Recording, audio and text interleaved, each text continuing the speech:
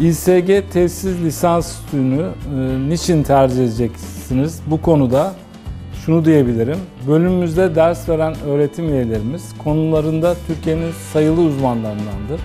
Aynı zamanda A sınıfı iş güvenliği uzmanı veya iş yeri hekimi ünvanına sahiptirler.